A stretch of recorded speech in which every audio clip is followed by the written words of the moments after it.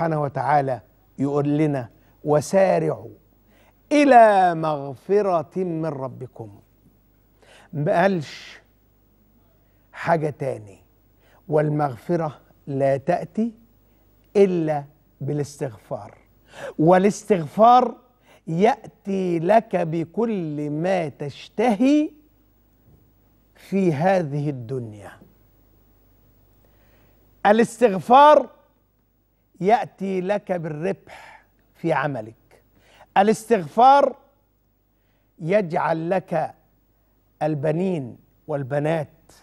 الاستغفار يذهب عنك الكرب والهم والغم. الاستغفار يأتي لك بثمار العمل سواء في الزرع أو الصناعة أو التجارة. الاستغفار سبب الهداية. الاستغفار مفتاح الباب الذي تدخل به إلى عفو من الله. الغفور الرحيم. الغفار غافر الذنب قابل التوب. ولا تنسى أنه شديد العقاب. ذو الطول. سبحانه وتعالى. سبحانه وتعالى سبحانه وتعالى. هو الله. هو الله. هو الله الذي لا إله إلا هو.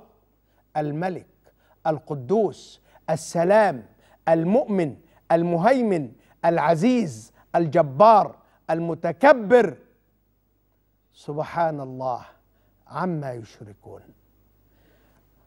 إلى مغفرة من ربكم. هنا بقى لنا وقفة لأن بيقول من ربكم. ما قالش إلى مغفرة من الله. لا من ربكم.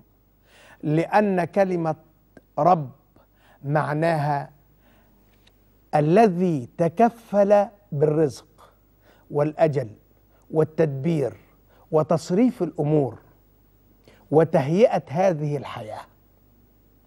ولذلك عندما تؤدب ولدك ويكون بعد ذلك صالحا في المجتمع يقولون هذا إنسان رباه أباه. ربنا سبحانه وتعالى جعل أبوه يربيه بس بفضل من مين؟ من الله. مالك متربي قال من عند ربي.